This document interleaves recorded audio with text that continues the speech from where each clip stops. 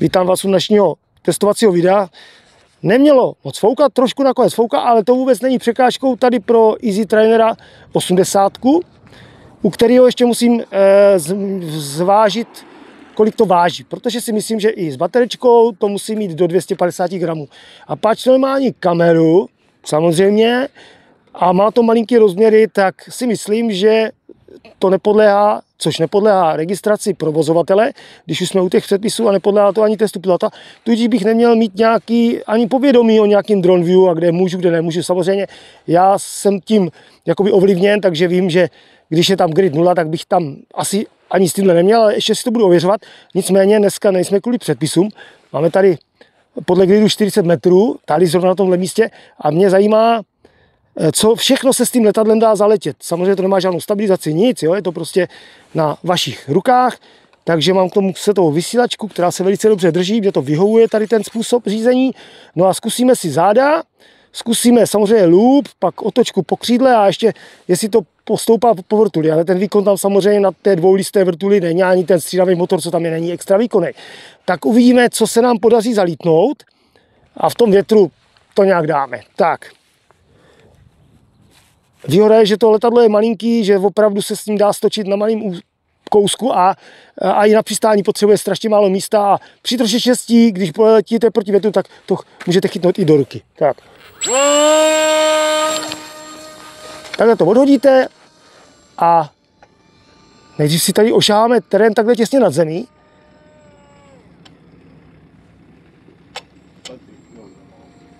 Tak. Takže dá se s tím letět takhle krokem, to už máme vyzkoušený, dobře. No a když budu dělat potom ty pokusy, tak samozřejmě už musím trošičku výš. Budu se pohybovat zrovna v této vzdálenosti a hlavně nesmím do slunka, to by dopadlo špatně. Jinak když to rozpadáduju, tak toto je maximální výkon toho modelu, nebo když to takhle letí, to je maximálka, ale nemyslím si, že to je nějak extra málo.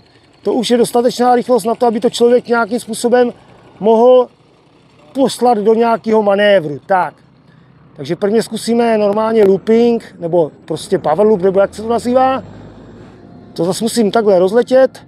No, teď proti větru to nepůjde, musím to udělat po větru, nabrat rychlost. Jo, takže takhle, bez problému. To se s tím dá udělat levou zadní. Jakmile naberete rychlost, tak krásně jo, to provedete. Tak. Jo, no tak ono. Můžu se zkusit přiblížit trošku blíž. My se to... Já přizumoval, ale, ale jak je to rychle, tak já... Jo, jo, jo. Nebo to nezimuj, nech to spíš na to na dálku, ať, ať je to třeba víc vidět. To zkusím ještě jednou. Hop. Jo, a můžete to udělat pomalejc, rychlejc. Jo, jako jo, to letadlo si to opravdu nechá líbit. Jo. Když teďka budu se snažit rozpadát to povrtulí nahoru kolmo, eh, tak pak tomu dojde dech a vlastně se to překlopí jo, zpátky. To znamená, je to takový zábavný letadílko, takhle zase letím naplno, dám to kolmo, jakože chci vystoupat. A ne, prostě povrtulí nahoru to nejde, to je jasný. Tak, e, potom, když bych chtěl udělat ten let na zádech, tak to si předtím trošku blíž k sobě, takhle.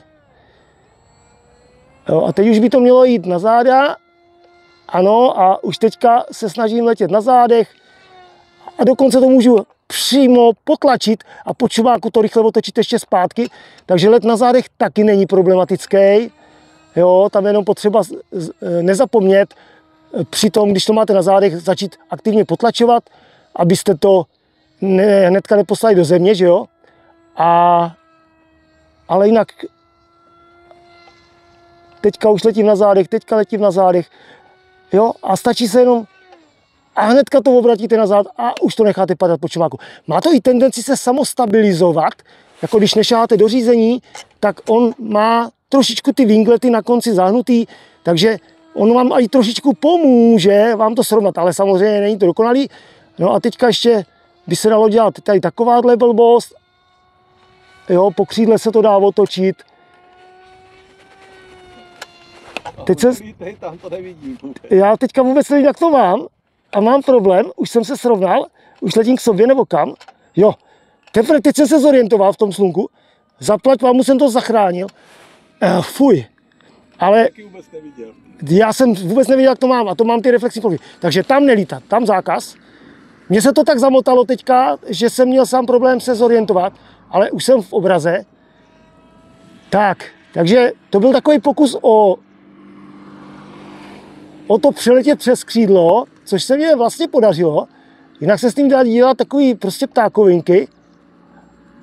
A to i v silnějším větru. A bohužel jsem ještě narazil na takový jakoby místo, kde by bylo úplný bezvětří. Třeba teďka to krásně proti tomu větru takhle pomalinku plachtí, že jestli to ke mně doplachtí, tak bych to mohl chytnout, což se nepovedlo. Nevadí, otočíme to po větru, nesmím přistát, nesmím přistát. Dobrý, dobrý, dobrý, teď jsem to zvládl, ale říkám, ta rychlost proti větru je tak pomalinká, že fakt to stačí te chytnout i do ruky, úplně v pohodě, jo. Ta hmotnost prostě vám nic neudělá, jo. No, takže ještě, ještě, ještě zkusím jednu věc. Ale zase mě to láká do toho slunka, ne, tam to nesmím udělat. Jo, takovej ten, Dneska, že já vidím svůj ksít a nevidím vůbec to letadlo, takže aha, ani nevím. Ale jo, jako mám tam, jo. Jo, tak důležité, že je vidět, že to letadlo něco dělá. Ono je to jako samozřejmě těžko nat- natočitelný, takové malinký letadlo s telefonem, ale jde jenom ukázat, že opravdu se s tím dá vyblbnout a hlavně, když aj takhle lítáte půl, tři čtvrtě plynu, samozřejmě můžete to nechat i platit, tak furt ta baterička o kapacitě 350 mAh vydrží bez problémů třeba 15 minut v plné palbě, což je dobrý, jo. To ne, že máte na chvilku lítání.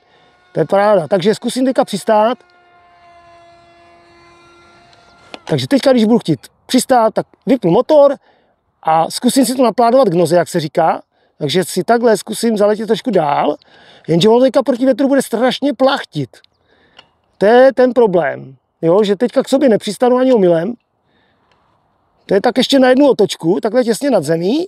Tak, tak, tak, tak, takhle pěkně. A teď už by to možná šlo. Je, jo, a taky to potřebuje občas. Je, je, je. Jo, tak